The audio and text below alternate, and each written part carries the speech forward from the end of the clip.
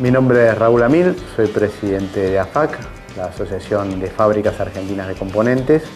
Somos la entidad que representa al autopartismo nacional. Cuando decimos autopartismo nacional nos referimos a todas las empresas autopartistas que están radicadas en Argentina, sean de capital nacional o internacional. Hoy el autopartismo argentino, y ya desde hace varios años, participa en un vehículo entre el 22-23% en promedio. Hay vehículos que tienen mayor integración, como es el caso de las pickups, que Argentina se está transformando en el jugador regional, diría yo, en la producción de, pickups. En los autos medianos un poco más bajo y en los autos chicos mucho más bajo.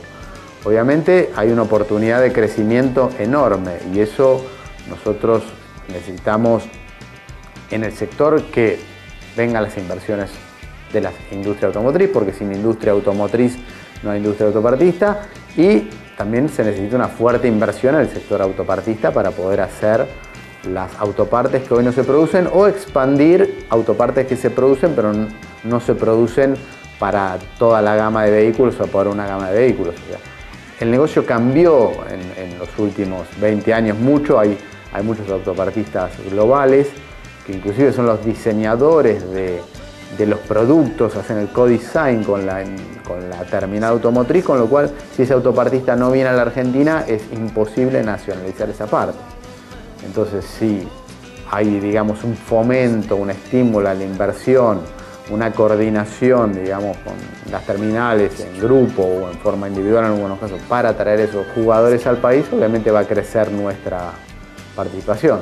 Obviamente como toda inversión de largo plazo necesita contextos eh, macroeconómicos estables, políticas previsibles, una política industrial orientada hacia el desarrollo del sector. Yo creo que Argentina en los últimos años dio señales de que le interesaba la industria automotriz.